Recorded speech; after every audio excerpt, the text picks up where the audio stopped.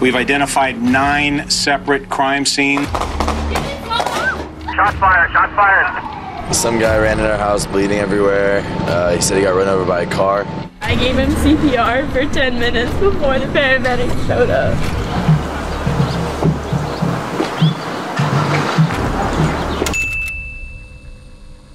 Hey, Elliot Rodger here. You know, I never really heard him speak. He didn't talk. I mean, uh, we didn't see this coming at all. I just don't know why this happened to our son. I've been doing a lot of thinking about how sad and unfair my life has been. You forced me to suffer all my life, and now I'll make you all suffer. Well, this is my last video. I've waited a long time for this. Catch a killer. 6. UC Santa Barbara students killed. Over a dozen more were injured. All at the hands of this 20-year-old, someone who even his closest friends described as broken from the moment of conception. I think he's a really lonely guy. Are mass murderers born or are they made? To try and understand the case of Elliot Rodgers, we must start from the very beginning. I wish I could be a kid again. In 1991, Elliot Rodger was born in London, England, to mother Lai Xin, a Malaysian Chinese nurse, and father Peter, a commercial and film director. The shy child would later consider those early years the happiest of his life, yet even then there were warning signs of trouble to come. My parents used to always take me here when I was a kid. Back when my life was happy and fair. Elliot was highly literate, yet almost preternaturally quiet and would often write down what he wanted to say instead of speak it. While he was never officially diagnosed, this is a symptom of selective mutism, a rare childhood anxiety disorder in which sufferers find themselves unable to speak in social situations. When Elliot was six, Peter moved the family to Los Angeles. When his parents divorced just one year later, it was another massive change for the already fragile boy. Even at such a young age, it would prove an insurmountable trauma. Within a year, his father married Moroccan actress Sumaya Akaaboune, triggering jealousy in young Elliot. He idealized his father's wealth and power as tools to attract the women of his dreams. You'll later realize just how dangerous this idea that money alone could attract any women you wanted would be. Back when I thought the world was fair, how naive I was. I was only a innocent child. Elliot had few friends, and when play dates would be arranged, he would simply wander off to bedrooms or the backyard to be alone. He hated sharing and would become irrationally angry when forced to do so. In the rare cases he'd make a friend, he'd become possessive of them and jealous if they play with anyone else. I'm so angry right now. I was enjoying a peaceful time at this beach park, and what comes to sit in front of me? A young couple, a guy with his hot girlfriend. I mean, who do they think they are? Coming here, sitting in front of me to make me feel jealous? As he moved into his middle school years, he continued to struggle to make friends. He became an object of ridicule, including to one girl in particular, who would mock him in front of her group of friends. By his own telling, it would be the start of a lifetime hatred for what he referred to as the female species. His father, Peter, was a Hollywood insider who worked on major productions, including as assistant director on The Hunger Games, and afforded his son a front row seat to the industry. Elliot would later describe this as being a key factor in his jealousy. Even at that young age, his shallow ideology of wealth and privilege was beginning to form. My little nine-year-old self realized that there were hierarchies that some people were better than others. Jealousy and envy. Those are two feelings that would dominate my entire life and bring me immense pain, he wrote. The Rodgers moved Elliot from school to school, hoping to find a fit for the increasingly isolated and bullied child. I've been cast out. No one likes me. No one accepts me.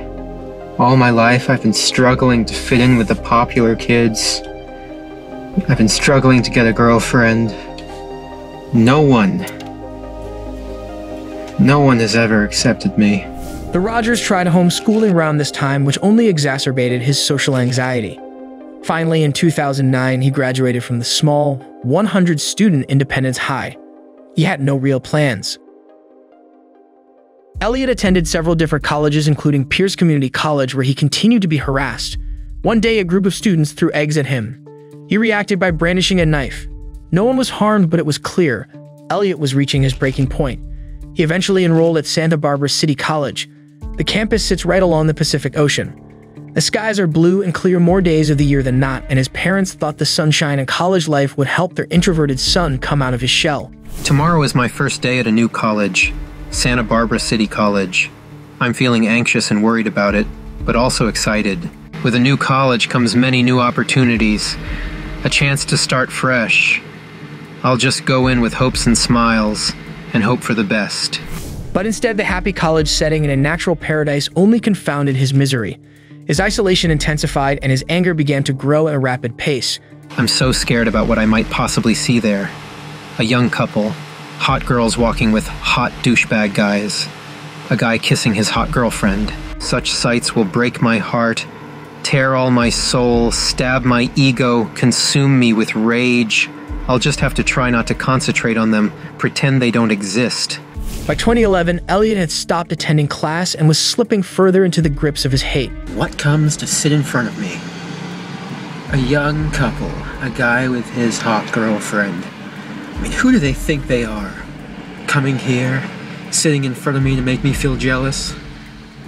This is the reason why I hate the world.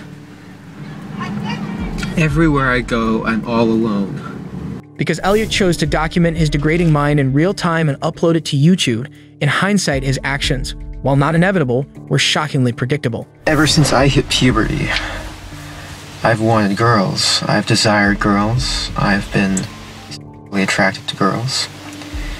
But they've never shown any attraction back to me. It's fair to say that Elliot hated the entire human race, but most of all, he hated himself. Another month has gone by now, and I made a huge effort this month. But still, nothing. How long can I keep doing this? How much torture and humiliation can I take from the world? He had particular antipathy for women for never showing any interest in him. They never paid any attention to me. They talked to the other guys in the class, but not me. There were so many guys in that class who were stealing the girls from me. I hated watching them casually flirting with the girls. I hate them. Elliot seemed to feel that just because he desired girls since puberty and he himself hadn't been desired in return, he had the right to hate them. I'm the guy you should be going for, not those obnoxious slobs you love so much. I don't know why you're not attracted to me. I don't know what you don't see in me. But I'll make sure you all pay for it. I've concluded that females have a, a very flawed and perverted form of sexual attraction. Elliot's thoughts and fantasies were consumed with revenge. But they were just thoughts, until one day when his thoughts became real. Elliot was waiting in line behind a couple at a local Starbucks. Just Elliot being in the presence of love angered him so much that he followed them out to their car and threw hot coffee on them. He later repeat the assault on two female students. He was establishing a pattern, acquiring a taste for inflicting pain. Yes, I'm a shy, quiet guy, but I have good qualities to myself. I'm a gentleman. You know, I'm sophisticated, I'm polite. I have good values. And I can be fun too, if they just give me a chance to open up. But girls never give me a chance because they're evil and cruel like that. Elliot believed his designer clothes and nice car, all bought with his father's money, would make up for his wholly deficient personality. I do everything I can to appear attractive to you. I dress nice. I'm sophisticated. I'm magnificent. I have a nice car, a BMW. Well, it's nicer than 90% of the people at my college. Um, you know, I'm polite. I'm the ultimate gentleman. And yet, you girls, you never give me a chance. I don't know why. You know, I, I, I put a lot of effort into dressing nice. These, these sunglasses here were $300. Giorgio Armani. So I'll put them on. See? In addition to his misogyny, Elliot was also a rabid racist, often posting his vile views online. Specifically, he hated seeing blonde women with any man, he had a special disgust seeing them with men of a different color. I passed by this restaurant and I saw this black guy chilling with four hot white girls. He didn't even look good. Then later on in the day, I was shopping at Trader Joe's and saw an Indian guy with two above average white girls. What rage inducing sights did you guys see today? Don't you just hate seeing these things when you go out? It just makes you want to quit life. On the bodybuilding forums, Elliot would spew his disgust at men of Asian descent. When asked by one if a certain pair of shoes would help attract white women, Elliot told him, Shoes won't help you get white girls. White girls are disgusted by you, silly little Asian. It's worth noting that Elliot himself is of part Asian descent, and his racism could very well be another sign and extension of his intense self loathing. It's almost been a month since that traumatic day. The day I lost the lottery jackpot that I was meant to win. Elliot would spend the $1,000 a month allowance Peter gave him on designer clothes and lottery tickets, often driving over two hours to Arizona or Nevada just to buy more. I was going to be the record breaking lottery winner of 656 million. I still can't come to terms with the fact that I didn't win. He came to believe that winning the lottery would solve all of his problems and would be the only way he could attract a woman. I should not be in this position right now. If I had won, then I would probably be driving one of my dream cars at this very instant, looking for a new mansion to buy. I would probably even have a girlfriend by now. That is how my life should be. Not this. Not this depression and suffering and loneliness. His clothes and car obviously weren't enough, and it didn't seem to occur to him to try to make money on his own through honest work. The lottery was his last chance. I dropped my classes with the conviction that I would return to college as a rich guy who could get all the girls. But every time Elliot lost, he considered it a personal affront to his sense of self, a conspiracy of the universe against him. I thought I had a chance to become rich very quickly. I thought I would win the lottery. It was meant to be. I can't believe I didn't win. This is so shattering. What do I do now? With all hope lost, he took a drive where he would confess his innermost thoughts to his camera phone, the only thing listening. Every time I drive through this place, I am overcome with rage. Because I see so many guys walking around with beautiful blonde girls, enjoying their lives, while I've lived here for, for more than two years in loneliness. No one's ever invited me to parties. No girls have been attracted to me. I've never had the pleasure of walking through this town with a beautiful girl on my arm.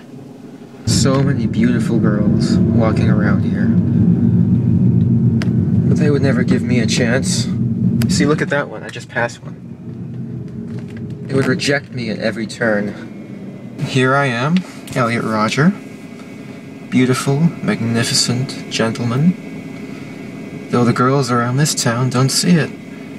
They hang around with those slobs, those obnoxious, horrible, disgusting men. But they never give me a chance. That's why my life is so unfair. Oh, look. Even more houses full of obnoxious, college students right there. This world does not make sense. Despite Elliot feeling like a victim himself, he held no empathy for anyone he deemed less attractive. Hot young sluts who would just reject me. And these, look at these douchebags right here. These assholes, these obnoxious little slobs. You see guys like this. Oh wait, no. Not guys like those. Those guys were ugly as fuck. It's a dangerous mixture of inferiority and superiority complexes, another clear trait of an undiagnosed narcissistic personality disorder. Ah, police car. Whoa. God damn. I'm so glad that police car didn't stop me for holding up my cell phone. I've already gotten a parking ticket this month. Notice how, despite Elliot's antisocial traits, he still has a strong respect for authority and is highly concerned about getting a ticket from police. This would seem anathema to the strongman persona, yet upon closer examination, ties in strongly with his deep-seated insecurity. He most likely fears and respects police because he covets the power they possess. Look, that's the house I got beat up at when I walked in on a party. That was about almost a year ago now. Back in August of 2013. One year later, and everything Elliot felt he had to give the world had been rejected. Everything he ever wanted had been denied. The entire female gender must have something mentally wrong with them. To be so evil and cruel to me by starving me of love and sex, while they eagerly give it to other men. The only thing left to do was to take it. They are all mentally ill. They must all be punished, and I will be the one to punish them. His deterioration was complete. The only hope for a future rested in none at all, for Elliot, or anyone who stood in his way. But girls are not attracted to me. And there's a major problem with that. A major problem. That's a problem that I intend to rectify. I will not let this fly. It's an injustice that needs to be dealt with. Well, this is my last video. It all has to come to this. Tomorrow is the day of retribution. The day in which I will have my revenge against humanity. Against all of you. Elliot seemed to have waited for the natural light to be just right for his final video. He was putting the time in to make his last statement a work of art. In the most cinematic of delusions, Elliot was preparing to drive off into the sunset. You girls have never been attracted to me. I don't know why you girls aren't attracted to me, but I will punish you all for it. It's an injustice, a crime, because I don't know what you don't see in me. I'm the perfect guy. And yet you throw yourselves at all these obnoxious men instead of me, the supreme gentleman. I will punish all of you for it. The contrast between Elliot's typical videos and when he played his evil character is stark and a clear reminder of the artificiality of his persona. I'll be a god, exacting my retribution and all those who deserve it.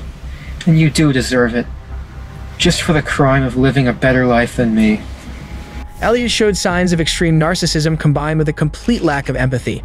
His stewing rage, along with an inability to maintain aggression, was a verifiable witch's brew of unchecked psychopathy.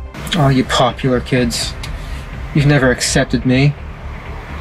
All I've ever wanted was to love you and to be loved by you. I've wanted a girlfriend. I've wanted.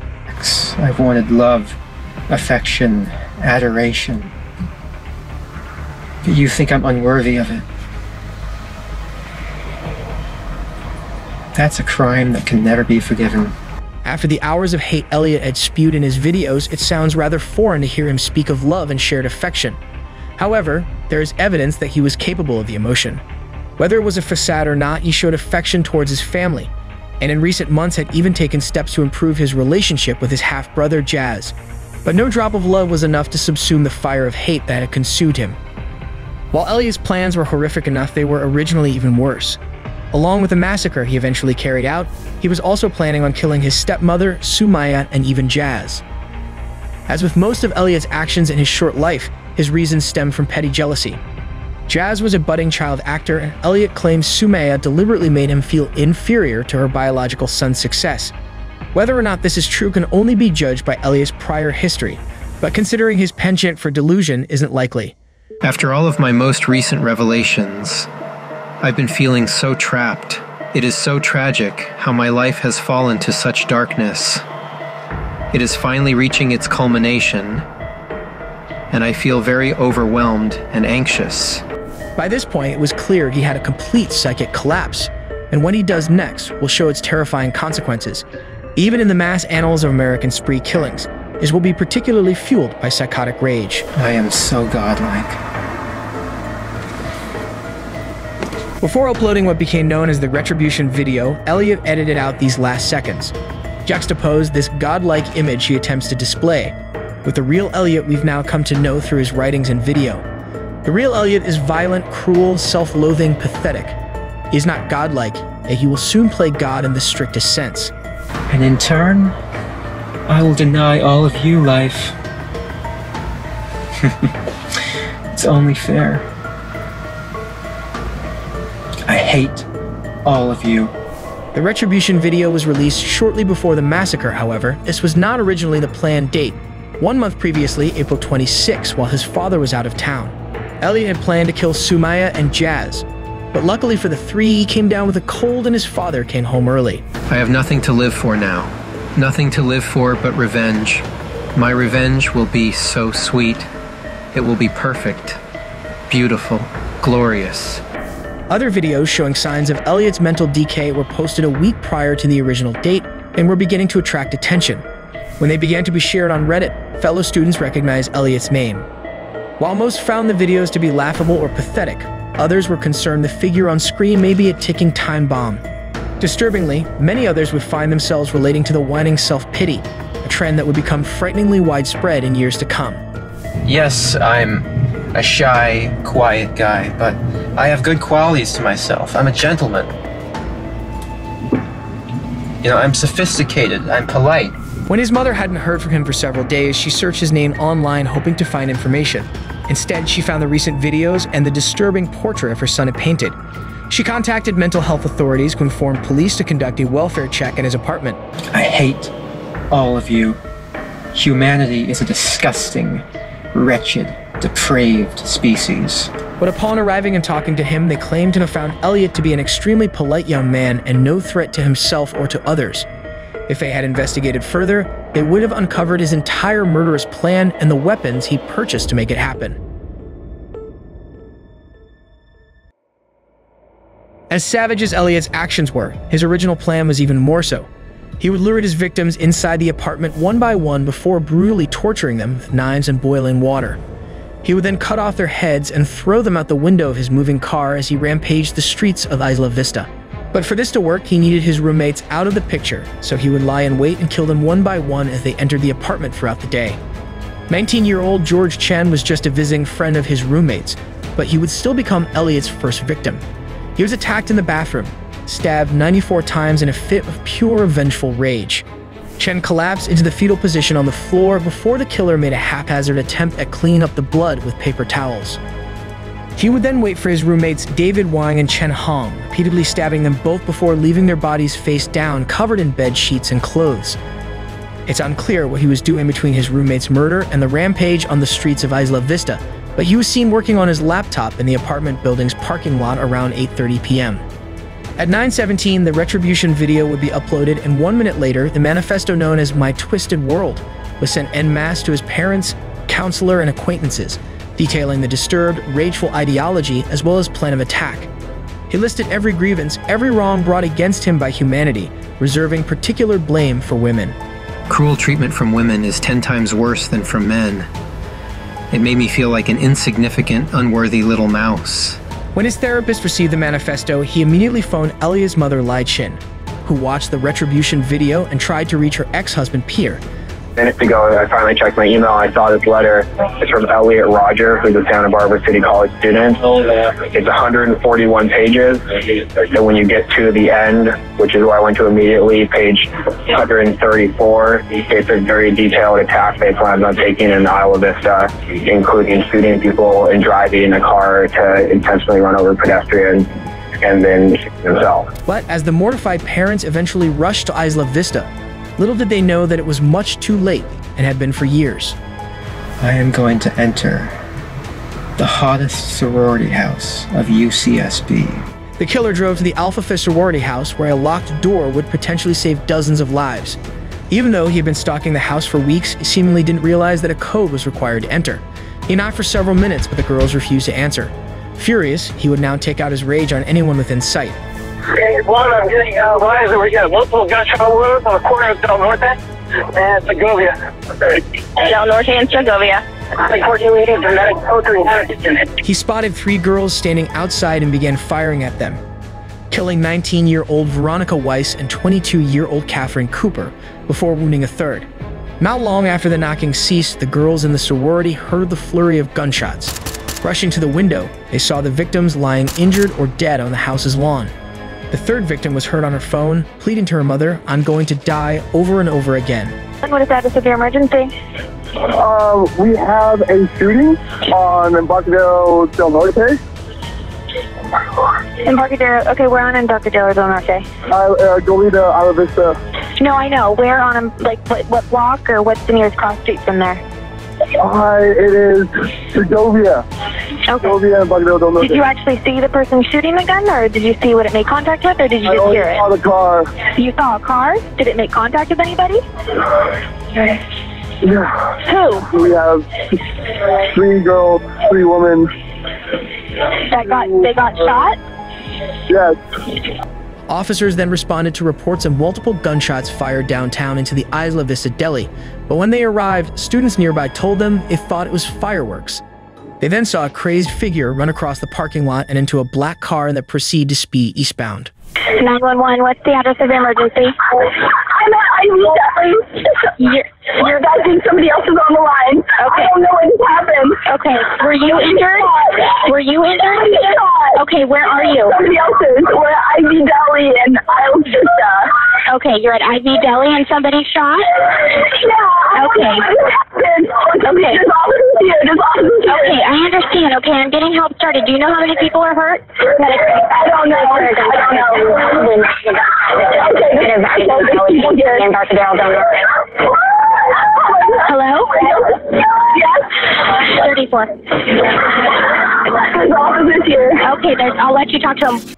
Police followed the screams to the Isla Vista Deli, where they found panicked students and 20 year old Christopher Michaels Martinez, shot through the chest and killed almost instantly. 14 medic, so three guys in the killer continued to drive around the college town, shooting at bystanders and running them over with his car, injuring multiple people.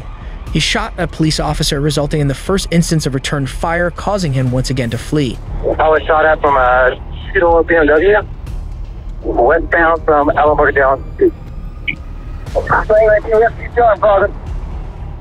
CPR in progress. Victor, we got another gunshot. Victim at shots fired, shots fired. He continued firing at bystanders from his car, and several officers now returned fire, one bullet striking him in his upper left thigh. He fled yet again, but soon crashed into the back of a black Jeep. Elliot's car was riddled with bullets and bleeding gasoline. With the officers' shouted commands getting closer and his retribution as complete as it ever would be, Elliot was done. He put a bullet in his head. Surrounding him, police would find prescription pills, knives, three pistols, six empty 10 round magazines, 548 unspent rounds of ammunition, and his phone containing over 200 selfies. My name's Sean. I'm property manager in IV, like the apartment. Um, and I know something's going on in IV. I just got email from one of the residents, and it's like really disturbing. And it's like Okay, there's been a, a there's been a shooting in IV. no, no, I understand that, but I got an email from a resident, and it's like 141 pages long, and it says like the life of Elliot Rodger. Okay. And at the end, it talks about killing people. Okay, yeah, we uh, we actually have somebody else. What's your name? As police began gathering facts, it was only a matter of time before they found the horrors that awaited them inside the apartment. In addition to the bodies of his roommates, they would also find several disturbing items that belonged, including a dagger, a sledgehammer, a print out of his manifesto, disturbing diary entries and drawings, and multiple knives. The diary appeared to have had entries removed and then taped back in, something its pages confirmed. The last entry, dated May 23, 2014, read, I had to tear some pages out because I feared my intentions would be discovered. I take them back together as fast as I could. This is it. In one hour, I will have my revenge on this cruel world. I hate you all. Die. His mattress had been stabbed and slashed, possible practice for his roommates' bodies, and the sheets were wrapped in the bloody clothing he used to kill them in. On his bed, a laptop was open to the words, Your video has been uploaded. There was a young girl laying right here, and she was, I could just tell immediately that she was gone. She, I saw a gunshot wound to her abdomen and like on her side, and also one to her head. Uh, so you could tell she wasn't bleeding anymore, so she was gone. During the mere eight minutes that the massacre took place, the town of Isla Vista would be forever changed. To most, Elliot Rodger is now a sad, infuriating case of hatred gone unchecked, a life of privilege squandered by petty, insecure jealousy. To others like him, he's a hero, a sage, a pioneer of incel mass death who dare do what they only dream of. They somehow feel as if his actions took courage when all they took was a particularly sad and diluted form of hate. The father of Adam Lanza now says that there are times he wishes his son had never been born. Do you ever feel that way? That's a really loaded question. Um, I.